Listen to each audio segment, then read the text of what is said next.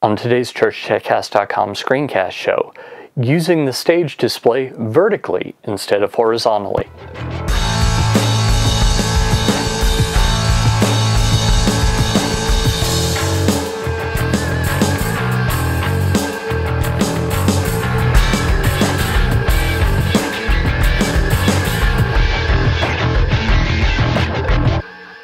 Hi, and welcome again to the ChurchTechCast.com screencast show.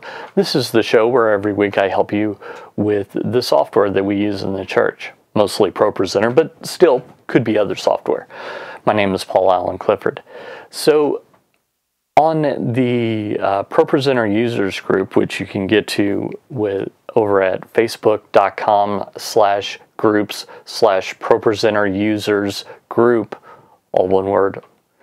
Um, someone had a question about turning the stage display from the normal horizontal configuration to vertically because in his church he's got or her church I can't remember who it was this person has columns. And so they could take a flat screen monitor turn it up on its side attach it to a column, and from the back, no one would be able to see it, but the pastor would be able to look over and see sermon notes. The worship leader would be able to see lyrics, etc.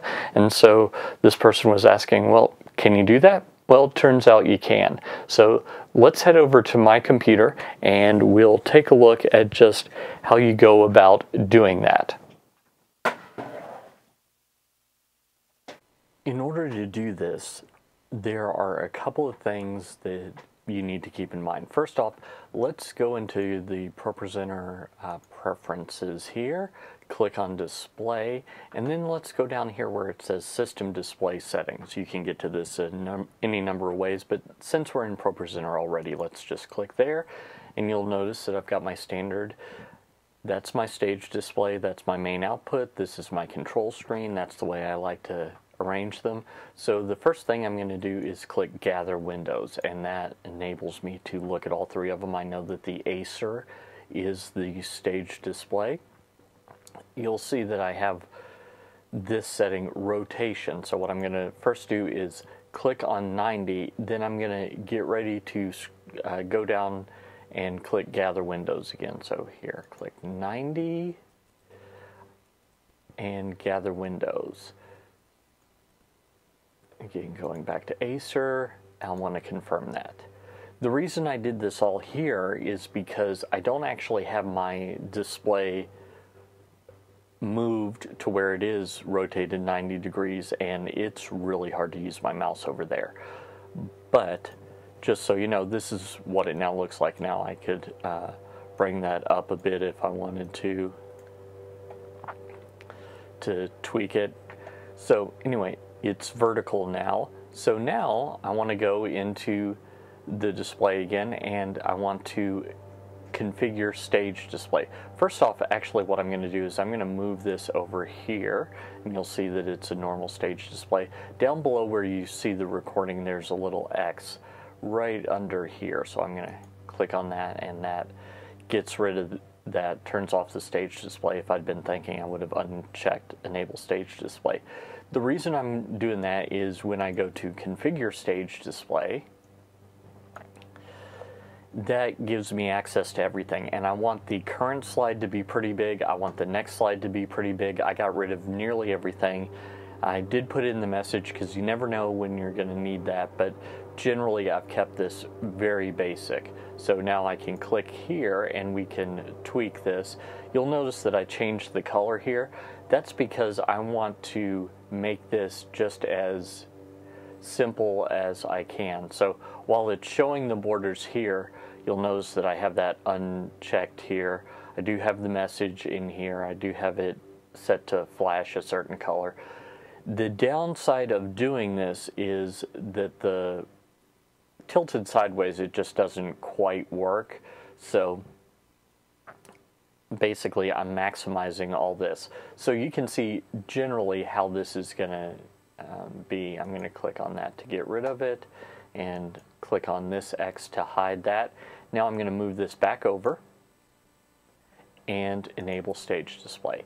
when I do that, it actually looks good now. Now you, you can't see that because it's over there off the screen, but it does look good. Now, I, as I was preparing for this, I noticed that sometimes that wouldn't set correctly, so you might need to move it back and forth a couple of times to make sure that that's in and click enable again, that kind of thing, just to make sure that it works. But that's really all there is to it. Now I can take this stage display and hide it behind a column if my church has that. Uh, hide it just in any place where vertical seems better. Now, keep in mind as well, if we go back here and gather windows, that if you've already hung the display and it's upside down when you click 90, you have 180 as an option. Heck, you could even hang it upside down completely if there was some good reason to do that, and um, it would be completely upside down. Now, this is something else that I want you to notice is um, so 270, sorry, is upside down but still vertical. Uh, gather windows, back to Acer, confirm. Okay, so 180 would be completely upside down. Don't necessarily know how why you would do that, but you might have a very good reason. Uh, again, let's gather windows, Acer, confirm. So you have some options here to make this work the best that uh, you need it to work. I'm going to go back to standard because this is, as you saw at the beginning, um, just my normal configuration with three monitors on my desk, and so it's much easier to work with like this.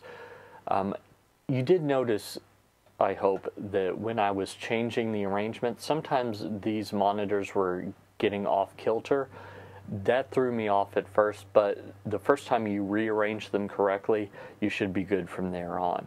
So keep that in mind as you're doing it. You take your display, gather windows, change the orientation. You might need to move your stage display to where you expect it to be, etc. But it's actually pretty straightforward uh, just like setting up a stage display just with this additional step of changing the rotation. And it works perfectly fine in ProPresenter 6. Well, I hope that helped you. I hope that now you're starting to think, okay, I could put one vertically there, or I could put one horizontally there, and really it's up to you. So by all means, pick whichever works for you.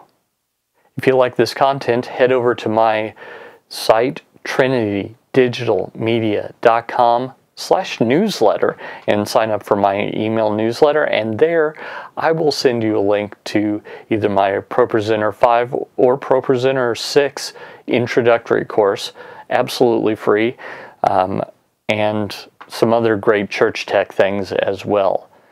Until next time, this is Paul Alan Clifford with TrinityDigitalMedia.com. Go out and change eternity.